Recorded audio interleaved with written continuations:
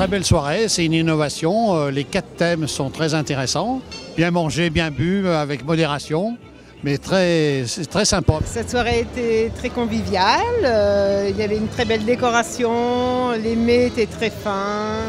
Voilà, bonne dégustation.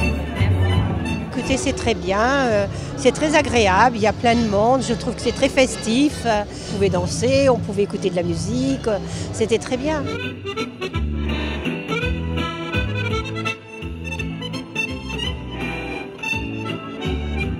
C'est une, idée extraordinairement bien, pensée qui mérite d'être suivie. J'ai jamais entendu parler de manifestations comme ça, ça semble vraiment plaire au public, qui est là nombreux. Et nous, euh, dans le cadre de cette animation, on a vraiment passé un bon moment.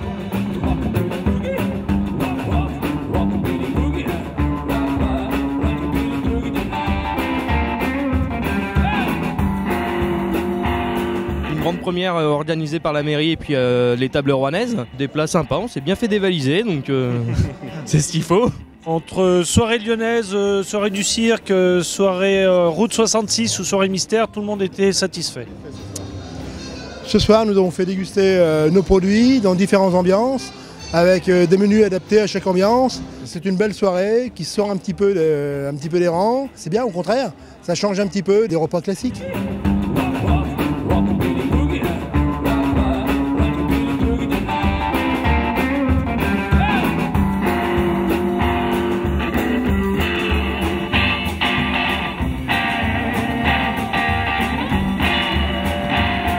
C'est une très bonne soirée.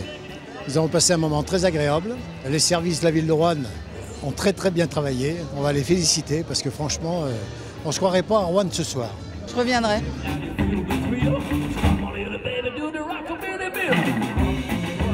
Et c'est la première fois que je fais une clôture.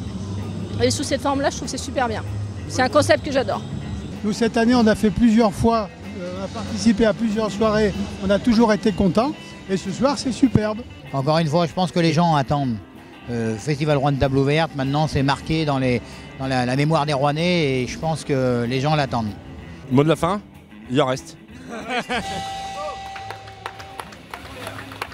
Merci beaucoup.